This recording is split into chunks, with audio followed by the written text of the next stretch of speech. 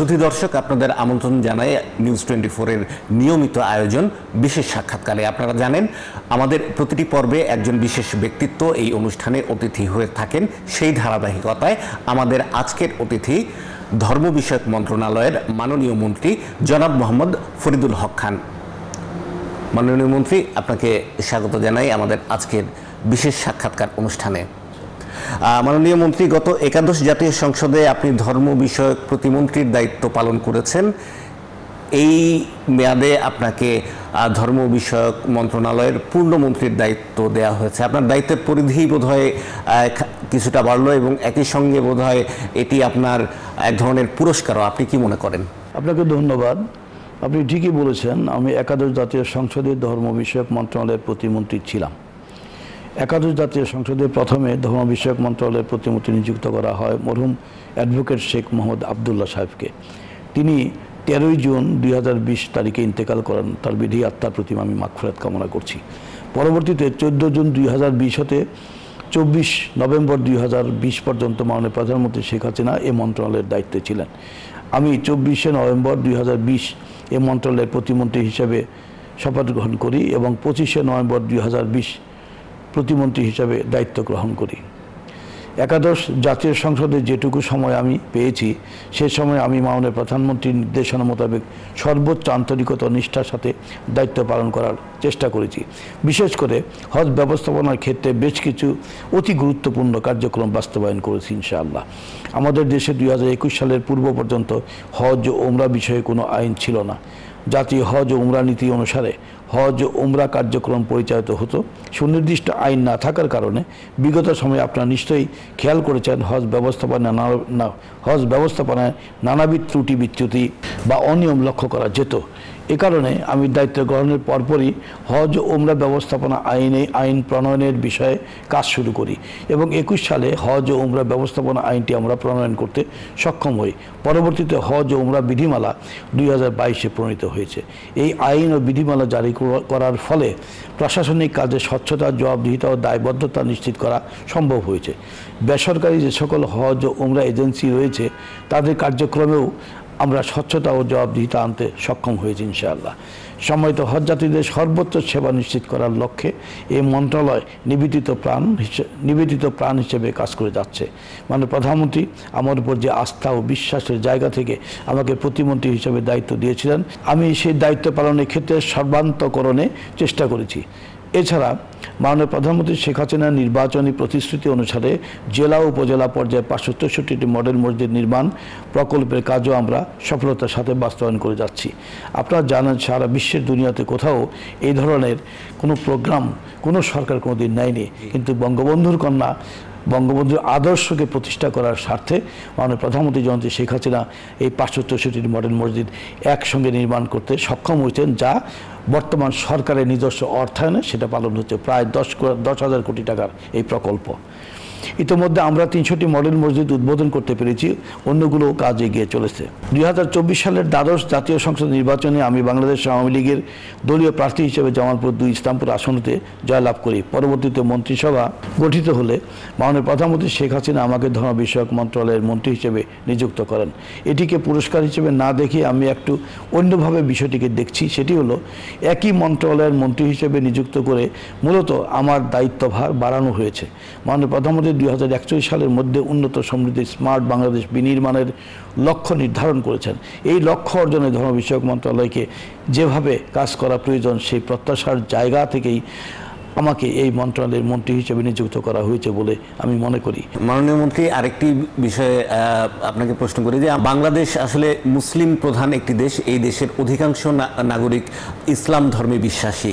কিন্তু আমরা দেখেছি যে আসলে ইসলাম ধর্মের অপব্যাখ্যা করে অপপ্রচার করে দেশে অনেক সময় জঙ্গিবাদ উত্থান আমরা দেখেছি। সেই কথা মাথায় রেখে কিন্তু সরকার একটি প্রকল্প হাতে নেয় যে দেশের প্রত্যেকটি উপজেলায় একটি করে মডেল মসজিদ নির্মাণ করা, যেখানে ইসলামের যে প্রকৃত বাণী, তা যেন ধর্মপ্রাণ মুসল্লিরা জানতে পারে এবং তারা যেন বিপদ থেকে ফিরে আসতে পারে।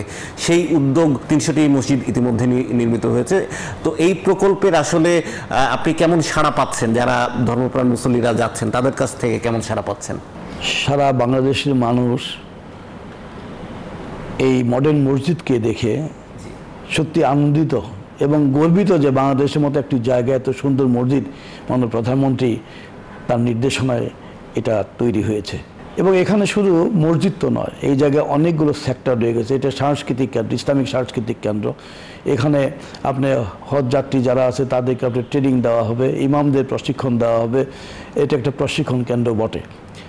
এছাড়াও এখানে আরও আনুষঙ্গিক অনেকগুলো কাজ জড়িত রয়ে গেছে। এখানে কোনো বিদেশি অতিথি আসলে তাদের থাকার ব্যবস্থা থেকে শুরু করে অনেক কিছু করা হয়। এখানে আপনার লাশ ধোয়ানোর ব্যবস্থা রয়ে গেছে, মক্তবের ব্যবস্থা রয়ে গেছে। এবং শুধু এটাই নয় যে সার্বিকভাবে ইমাম সমিতি যারা আছে তাদেরকে ঐক্যবদ্ধ করে এখানে ইমামের ট্রেনিং দিয়ে তাদেরকে বর্তমান সরকারের যে চিন্তা চেতনা, মেধা, প্রজ্ঞা দিয়ে যে কাজটি করেছেন, তার আলোকে সারা বাংলাদেশের মানুষকে ইমাম প্রশিক্ষণের ট্রেনিং দিয়ে সেই মসজিদে মসজিদে তাদেরকে পাঠিয়ে দিয়ে দেওয়া যায়, তাহলে অবশ্যই মানুষ সেই আস্থা ফিরে আসবে এবং তাদের যে একটা ভ্রান্ত ধারণা যে সন্ত্রাস, জঙ্গিবাদ যারা তৈরি হয় সেইগুলো থেকে বিলুপ্ত করার জন্য চেষ্টা করবে সাধারণ মানুষ তাদের বক্তব্যের মধ্য দিয়ে। ইতিমধ্যে বাংলাদেশ সরকার প্রধান জয়ন্তী শেখ হাসিনা, আপনারা দেখেছেন, হলি আর্টিজান থেকে আরম্ভ করে বহু আপনার সংঘাত বাংলাদেশে হয়েছে। সন্ত্রাস, জঙ্গিবাদ এগুলো নির্মূল করার করার জন্য যে প্রত্যয় ব্যক্ত করেছেন মাননীয় প্রধানমন্ত্রী, জিরো টলারেন্স এবং সেটাকে ঠিক রাখার জন্যই স্বরাষ্ট্র মন্ত্রণালয় এবং অন্যান্য মন্ত্রণালয় যতটুকু যার দায়িত্ব সুন্দরভাবে পালন করছে, ঠিক তেমনি আমরাও আন্তঃধর্মীয় সংলাপ আমরা পরিচালনা করছি। যে আন্তঃধর্মীয় সংলাপের মাধ্যমে প্রত্যেকটা জেলায় জেলায় আমরা মিটিং করেছি, ডিসি সাহেবরা উপজেলা লেভেলে মিটিং করেছেন, ইউনিয়নরা, ইউনিয়ন লেভেলে মিটিং করেছেন। বাংলাদেশে আজকে সন্ত্রাস জঙ্গিবাদ আমরা মনে করি যে নির্মূল হয়েছে, তবে সুপ্তভাবে তারা থাকতে পারে যাতে এইভাবে তারা আবার নতুন করে গুজিয়ে না উঠতে পারে। তার জন্য আমাদেরকে বিকল্প পদ্ধতি হিসাবে এটাকে মাননীয় প্রধানমন্ত্রী বলেছেন, আগামী দিনে এই সন্ত্রাস জঙ্গিবাদ নির্মূল করার জন্য দেশের আইন শৃঙ্খলা রক্ষার খাতিরে ইসলামকে ব্যবহার করে কোনো অপব্যবহার যেন কেউ না করতে পারে, তার জন্য আজকে আন্তর্ধর্মীয় সংলাপ, আবার নতুনভাবে আমরা শুরু করতে চাচ্ছি। ইতিমধ্যে মাননীয় প্রধানমন্ত্রী আমাদেরকে অনুশাসন দিয়েছেন দ্রুততম সময়ের মধ্যে এই আন্তর্ধর্মীয় সংলাপের কার্যক্রম শুরু করার জন্য। আমার বিশ্বাস যে বাংলাদেশে যেভাবে সন্ত্রাস, জঙ্গিবাদ নিপাত হয়েছে, সারা বিশ্বের দুনিয়াতে কোথাও এত দ্রুত, এত সময়ের, অল্প সময়ের মধ্যে কেউ করতে পারেনি। যার জন্য সারা বিশ্বের বহু দেশ থেকে আমরা কিন্তু অনেক এটার বিষয়ে তারা কিন্তু আমাদেরকে অভিনন্দন অভিনন্দন জানিয়েছেন, শুভেচ্ছা জানিয়েছেন, কৃতজ্ঞতা জানিয়েছেন। আমি একটি অনুষ্ঠানে গিয়েছিলাম, লন্ডনে একটা প্রোগ্রামে গিয়েছিলাম। সেই প্রোগ্রামেও তারা কিন্তু এই আন্তঃধর্মীয় সংলাপ আমরা করার কারণে আমাদেরকে অভিনন্দন দিয়েছেন এবং সন্ত্রাস, জঙ্গিবাদ, নিপাত করার জন্য মাননীয় প্রধানমন্ত্রী যে উদ্যোগ নিয়েছিলেন, সেটা কীভাবে করা সম্ভব আমাদেরকে তারা জিজ্ঞাসা করেছেন এবং তাদের একটা টিমও আমাদের বাংলাদেশে এসেছিলেন। তারা এই টিমের মাধ্যমে সারা বাংলাদেশের সমস্ত কিছু তারা জেনেছেন এবং তারা বাংলাদেশকে অভিনন্দন জানিয়েছেন, শুভেচ্ছা জানিয়েছেন, কৃতজ্ঞতা জানিয়েছেন বাংলাদেশকে আজকে আমরা যদি লক্ষ্য করি, তাহলে বাংলাদেশকে লক্ষ্য করি আমরা আমাদের দেশগুলোতে যাতে সন্ত্রাস জঙ্গিবাদ আমরা সেইভাবে আমরা যাতে নির্মূল করতে পারি তার জন্য চেষ্টা করব। আন্তধর্মীয় সংলাপের কথা বলছিলেন একটি চমৎকার উদ্যোগ। আসলে এই আন্তধর্মীয় সংলাপের মূল উপজীব্যটা কি থাকে যদি একটু সংক্ষেপে বলতেন? সংলাপের মূল বিষয়টি হলো যে বঙ্গবন্ধু এই দেশটা যখন স্বাধীন করেন তখন এটা কিন্তু আমাদের অসাম্প্রদায়িক বাংলাদেশ গড়ার জন্য উনি কিন্তু চিন্তা করেছেন এবং সেই কারণেই আমাদের সংবিধানে কিন্তু উল্লেখ করেছেন যে বাংলাদেশ অসাম্প্রদায়িক রাষ্ট্র। এখানে হিন্দু, মুসলিম, বৌদ্ধ, খ্রিস্টান বা আরও ধর্মের যদি কেউ থাকে, তারা সবাই নিজ নিজ স্বাধীনতা নিয়ে বাংলাদেশে বসবাস করবে। একটি কারণ আমরা অনেক সময় বলি যে হিন্দু বা অন্য ধর্মের যারা আছে, তারা সংখ্যা লঘু এই জিনিসটা মহানবী প্রধানমন্ত্রী বিশ্বাস করেন না। উনি বলেন, বাংলাদেশ স্বাধীনতা যুদ্ধে যারা গিয়েছিল, সেখানে হিন্দু, মুসলিম, বৌদ্ধ, খ্রিস্টান প্রত্যেকের রক্তের বিনিময়ে দেশ স্বাধীন হয়েছে। অতএব এই দেশটা সবার এবং এই স্বাধীনতার সুযোগ সবাই তার যার অধিকার তারা আদায় করে নেবে। এই জন্য বাংলাদেশে কিন্তু আমরা যখনই যে কোনো সেমিনার করি সিম্পোজিয়াম করি আমাদের এই ধর্ম মন্ত্রণালয়ের পক্ষ থেকে, তখন হিন্দু, বৌদ্ধ, খ্রিস্টান মুসলিম সব ধর্মেরই যারা গুরু, তাদেরকে ডেকে আমরা সেই আলোচনাগুলো করি এবং আমরা সমাজে সেই জিনিসটা ছড়াই দিতে চাই যে আমরা ঐক্যবদ্ধভাবে এই দেশে বসবাস করব। সবার রক্ত বিনিময়ে এই দেশ স্বাধীন হয়েছে। সবার সম অধিকার সম অধিকার আদায় করা এবং পাশাপাশি এই দেশে যাতে সন্ত্রাস জঙ্গিবাদ না উত্থান করতে পারে, তার জন্য আমাদের চেষ্টা করা। এটাই মূল উদ্দেশ্য আমাদের এই আন্তর্ধর্মীয় সংলাপ। কারও করার প্রয়োজন। মাননীয় মন্ত্রী, আপনাকে ধন্যবাদ। দর্শক, একটি বিরতিতে যাচ্ছি। বিরতির পর আবারও ফিরে আসব। সে পর্যন্ত সঙ্গেই থাকুন। বিরতির পর আবারও ফিরে এলাম আমাদের বিশেষ সাক্ষাৎকার অনুষ্ঠানে। আপনারা যেমনটি দেখছিলেন যে আজকে আমাদের অতিথি ধর্ম বিষয়ক মন্ত্রণালয়ের মাননীয় মন্ত্রী জনাব মোহাম্মদ ফরিদুল হক খান। মাননীয় মন্ত্রী, আপনাকে আবারও স্বাগত বিরতির পর। আমরা এখন যে বিষয়টি নিয়ে আলোচনা করতে চাই, আসলে ধর্মপ্রাণ মুসলমানদের মধ্যে মুসলমানদের মধ্যে একটি বড় সংখ্যায় আমাদের দেশ থেকে প্রতি বছর হজ ব্রত পালন করে থাকেন। তো প্রতি বছরের মতো নিশ্চয়ই এবছরও ধর্মপ্রাণ মুসল্লিরা হজ পালন করতে সৌদি আরবের উদ্দেশ্যে যাত্রা করবেন। এবছর কি পরিমাণ মানুষ হজ পালন করবেন বলে আপনি মনে করছেন? আমরা এবছর আমাদের নিবন্ধিত হজযাত্রীর সংখ্যা সরকারি মাধ্যমে চার হাজার দুইশো একাত্তর জন এবং বেসরকারি মাধ্যমে আটাত্তর হাজার আটশো পঁচানব্বই জন। সর্বমোট তিরাশি হাজার একশো ছয়ষট্টি জন হজব্রত পালন করবে এবার ইনশাল্লাহ হজের যে খরচ গত বছরের তুলনায় এবছর কি খরচ বাড়ছে? গত বছরের তুলনায় এবছর হজের খরচ বাড়ানো হয়নি। সরকারিভাবেও না বেসরকারিভাবেও না। বরং সরকারি, বেসরকারি উভয় ক্ষেত্রেই খরচ গত বছরের তুলনায় কমেছে। দুই হাজার তেইশ সালে আমাদের একটি মাত্র প্যাকেজ ছিল, যেখানে সর্বমোট খরচ নির্ধারণ করা হয়েছিল ছয় লাখ তিরাশি হাজার পনেরো টাকা। এবছর আমাদের সেই প্যাকেজের খরচ নির্ধারণ করা হয়েছে পাঁচ লাখ আটাত্তর হাজার আটশো চল্লিশ টাকা। তার মানে এবছর সরকারি ব্যবস্থাপনায় খরচ কমেছে এক লাখ চার হাজার একশো পঁচাত্তর টাকা। গত বছরের তুলনায় বরং খরচ কমেছে এবার। এটি একটি আসলে অসাধারণ একটি উদ্যোগ হয়েছে। আরেকটি বিষয়ে জানতে চাই যে, আমরা গত পনেরো বছর লক্ষ্য করেছি যে, হজ ব্যবস্থাপনা এক ধরনের ধরনের ডিজিটাইজেশন হয়েছে। হজ নিবন্ধন এখন জেলা থেকে মানুষ করতে পারছে। এজন্য আপনার বিভিন্ন ইউনিয়নে যেই তথ্য কেন্দ্র রয়েছে, সেখান থেকে মানুষ বসে হজের নিবন্ধন করতে পারছে। এই যে হজের প্রক্রিয়াটি সহজ করা হয়েছে আপনি যদি গত পনেরো বছর আগের সঙ্গে এখনকার হজ পালন প্রক্রিয়াটির তুলনা করেন, আপনি আসলে কি পার্থক্য দেখতে পান? বঙ্গবন্ধুর কন্যা জয়ন্তী শেখ হাসিনা ডিজিটাল বাংলাদেশ গড়ার দৃঢ় প্রত্যয় নিয়েছিলেন। দুই হাজার আট সালের দৃঢ় প্রত্যয় নিয়ে উনি কিন্তু তার নির্বাচন ইস্তেহারে এনেছিলেন ডিজিটাল বাংলাদেশ করব যে ডিজিটাল বাংলাদেশ করার ব্যাপারে বিরোধী দলরা আমাদের বিরুদ্ধে কিন্তু অনেক অসাধচরণ করেছেন। কিন্তু আজকে সে বিরোধী দলের যারা আছে, তারা সহ বাংলাদেশের প্রত্যেকে ডিজিটাল ম্যানেজমেন্টের মধ্যে তাদেরকে আসতে হয়েছে। ডিজিটাল প্রক্রিয়া ছাড়া কোনো কাজই এখন হয় না।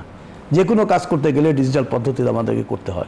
আমি মনে করি এটা মাননীয় প্রধানমন্ত্রীর দূরদর্শিতা চিন্তার মধ্য দিয়ে আমাদের ডিজিটাল পদ্ধতিটা বাংলাদেশে স্থাপিত হয়েছে, যার সুফল এই হজ মন্ত্রণালয়ের মাধ্যমে আপনার সব কিছু হচ্ছে।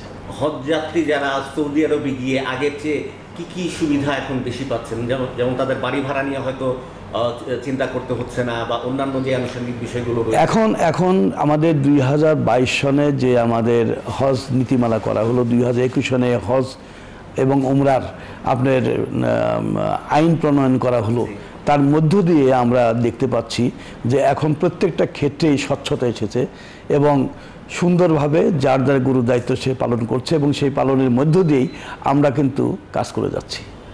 আমরা দেখছি যে আজকে বাড়ি ভাড়া বলেন, যে কোনো কিছু বলেন, সেগুলো সব অনলাইনেই হচ্ছে।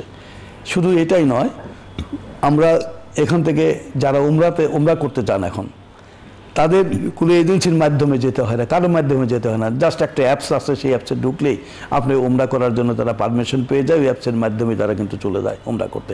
আমাদের সাথে কোনো যোগাযোগও করতে হয় না। এবং এত বড় সুযোগ যে নিজ খরচে সব কিছু কোনো খরচ নেই, কোনো কিছু বিনা খরচে সব কিছু করতে হজযাত্রীরা সক্ষম হচ্ছে। এবং তারা কিন্তু মেসেজ পেয়ে যাচ্ছে যে আপনাকে এই করতে হবে, সেই করতে হবে, কবে কি করতে হবে, কত টাকা, কবে জমা দিতে হবে। কখন তাকে চিকিৎসা সেবার ব্যবস্থা দিতে হবে সব কিছু তাদেরকে কিন্তু আমরা জানিয়ে দিতে পারি। প্রত্যেক হজযাত্রীর কাছে এই মেসেজগুলো চলে যায়।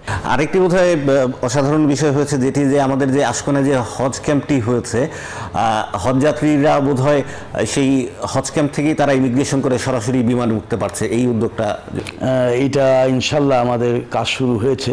আমরা জায়গা চিন্তা করতেছিলাম যে আমাদের এই আশকোনা এই হজ ক্যাম্পে এই জায়গার মধ্যে আমাদের সংকুলন হবে না। ইতিমধ্যে মাননীয় প্রধানমন্ত্রী এমন একটা গুরুত্বপূর্ণ সিদ্ধান্ত গ্রহণ করলেন যে আমার নতুন করে জায়গার প্রয়োজন হবে, নতুন করে বিল্ডিংয়ের আর কোনো প্রয়োজন হবে না। ইভেন কি কোনো আমাদের ট্রাভেল করার জন্য যে আমাদের যে ক্যারি করার জন্য যে বাস বা মাইক্রো বাস এগুলো আমরা ইউজ করতাম আমাদের এয়ারপোর্টে যাওয়ার জন্য সেগুলো করতে হবে না। কারণ হাজি ক্যাম্প থেকে মাটি দিয়ে সুরঙ্গ পথে রিভলভিং স্টেয়ার আপনার যেটাকে বলে এটা এটা অ্যাকচুয়াল চলন্ত সিঁড়ি। চলন্ত সিঁড়ি ব্যবস্থা করেছেন এবং এই চলন্ত সিঁড়িটা যখন চালু হয়ে যাবে হাজি ক্যাম্প থেকে এয়ারপোর্টে আমার যে টার্মিনালে যাবে সেই টার্মিনালে বা যে টার্মিনাল থেকে হজ যাত্রীদের যাওয়া হবে সেই টার্মিনালে এটা গিয়ে ওইটা পৌঁছে যাবে। ওই যখন চলন্ত সিঁড়ি উপরে যখন লাগেজ উঠাবে এবং যাত্রী দাঁড়াবে, হয়তো দুই মিনিট, আড়াই মিনিটের মধ্যে তারা কিন্তু গিয়ে পৌঁছবে সেখানে। এত সুন্দর একটা সিস্টেম করলেন যে হজযাত্রী তো থাকারই প্রয়োজন হবে না এখানে, জায়গার প্রয়োজন হবে না, কোনো কিছু আর প্রয়োজন হবে না ভবিষ্যতে। আমরা কিন্তু ইতিমধ্যে মাননীয় প্রধানমন্ত্রীর নির্দেশনায় আমাদের সিভিল এভিয়েশনের পক্ষ থেকে তারা কাজ করছেন এবং এটা দ্রুত শেষ হবে ইনশাল্লাহ সে আমার ধারণা যে আগামী বছর হজে হয়তো আমরা এটাকে মানে ব্যবহার করতে পারব বলে আমার ধারণা। আরেকটি বিষয়ে জানতে চাই যে দুই তেইশ সালের যে হজ হয়েছে, সেখানে বেসরকারি ব্যবস্থাপনায় কোনো অনিয়মের কোনো অভিযোগ আপনাদের কাছে এসেছে কিনা বা- এসে থাকলে আপনারা কি ব্যবস্থা নিয়েছেন? হ্যাঁ গত বছর বেসরকারি ব্যবস্থাপনায় হজ পালনের ক্ষেত্রে আমরা হজ যাত্রীদের নিকট থেকে কিছু অভিযোগ পেয়েছিলাম। এবং এই অভিযোগের সংখ্যা ছিল সৌদি আরব প্রান্তে ছিল একশো পাঁচটি অভিযোগ এবং বাংলাদেশ আসার পর আরও চল্লিশটি, সব মিলিয়ে একশো পঁয়তাল্লিশটি অভিযোগ আমরা পেয়েছিলাম। হজ যাত্রীদের নিকট থেকে প্রাপ্ত প্রতিটি অভিযোগ আমরা অত্যন্ত গুরুত্বের সাথে বিবেচনা করেছি এবং উভয় পক্ষকে ডেকে আমরা এই জিনিসটাকে সমাধ সমস্যা সমাধান করার জন্য আলোচনা করেছি। আলোচনার পরিপ্রেক্ষিতে দেখা গেছে যে সাতচল্লিশটি এজেন্সির বিরুদ্ধে আমরা তাদের জরিমানা বা শাস্তির বিধান করেছি এবং দুইটি এজেন্সির লাইসেন্স বাতিল করেছি এবং বাকি যারা মাপ পাওয়ার তাদেরকে আমরা মাফ করে দিয়েছি এবং তাদেরকেও বলেছি আমরা যে পরবর্তীতে এই ধরনের ঘটনা আপনাদের মাধ্যমে যেন না ঘটে। অবশ্যই এই জিনিসগুলো কিন্তু আমরা করছি, আমাদের যে বিধিমালা যে তৈরি হয়েছে, হজ নীতি যেটা আছে সেই নীতির সাথে বিধিমালা হয়েছে, তার আলোকে আমরা এই কাজগুলো করেছি। এবং মানুষ তাতে, আমি মনে করি যে বাংলাদেশে এখন হজ যাত্রীরা এসে বলে যে অতীতে হজ, হজের চেয়ে এখন অনেক ভালো হজ হচ্ছে। এটা শেখ হাসিনার সরকারের সাফল্য। আমরা চাই সেই জিনিসটাকে সুন্দর সুষ্ঠুভাবে আগামী দিনও সেইভাবে আমরা করার চেষ্টা করব যাতে করে কোনো অভিযোগ না থাকে তার জন্য কিন্তু আমরা স্টেপ নেওয়ার জন্য পদক্ষেপ নেওয়ার জন্য যা যা প্রয়োজন আমরা সেটা। আরেকটি প্রশ্ন দিয়ে শেষ করতে চাই সেটি হচ্ছে যে বাংলাদেশে মুসলিম ধর্মাবলম্বী ছাড়াও অন্যান্য আরও ধর্মের মানুষ রয়েছেন হিন্দু বৌদ্ধ রয়েছেন খ্রিস্টান রয়েছেন ক্ষুদ্র নৃগোষ্ঠীর মানুষজন রয়েছেন তাদের ধর্ম পালনে আর অধিকার নিশ্চিত এটা এটা আপনারা অবশ্যই জেনে খুশি হবেন আমরা হিন্দু বলেন বৌদ্ধ বলেন খ্রিস্টান সব ধর্মের তাদেরকে তীর্থে যাতায়াতের জন্য আমরা ব্যবস্থা রেখেছি। আমাদের দেখবেন বা বছরে তিনবার চারবার করে তীর্থে যাচ্ছেন তারা এবং এক একটা প্যাকেজ করে দিই প্যাকেজে চলে যান তারা। আবার পরবর্তী আরেকটা প্যাকেজ হয় তারপরে আরেকটা প্যাকেজ হয়। এইভাবে প্যাকেজের মাধ্যমে আমরা তীর্থে যাওয়ার জন্য তাদের ব্যবস্থা করি সরকারি খরচে এবং বেসরকারিভাবেও তারা যদি খরচ করতে চায় সেখানেও সুযোগ আছে তাদের। আপনার সুন্দরভাবে তারা আমার আমরা যেরকম মুসলমানরা হজব্রত পালন করি তারা তাদের তীর্থস্থানে গিয়ে তাদের ধর্ম তারা পালন করছে। এটা অতীতকাল থেকে চলে আসছে এভাবে। এই উদ্যোগটি কি এই সরকারের সময় প্রথম নেওয়া হলো না আগেও এমনটি ছিল? আগে খুব সামান্য ছিল বোধ হয় আবার অনেক অংশে ছিলও না। যেমন বৌদ্ধ খ্রিস্টানদের এদের ছিল না, হিন্দুদের ছিল বোধ কিছুটা। তবুও সেগুলো কিন্তু আমরা অতিক্রান্ত করে আমরা অনেক দূরে এগিয়ে গিয়েছি। আমরা তিনবার, চারবার বছরে পাঠাচ্ছি, চারটি গ্রুপ পাঠাচ্ছি, আগে হয়তো একটি গ্রুপ বছরে যেতে এরকম ছিল আর কি। এটা মাননীয় প্রধানমন্ত্রীর বদান্যতা। মাননীয় মন্ত্রী আপনাকে ধন্যবাদ আমাদের সময় দেওয়ার জন্য। দর্শক, আজকের বিশেষ সাক্ষাৎকার এখানেই শেষ করছি। দেখা হবে অন্য কোনো পর্বে, অন্য কোনো অতিথির সঙ্গে। সে পর্যন্ত সবাই ভালো থাকবেন, সুস্থ থাকবেন।